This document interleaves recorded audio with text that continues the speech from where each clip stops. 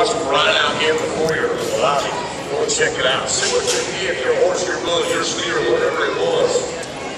Get a game plan together. Rick Ross is going to go down with a little time. Taylor Haskins got time in the third.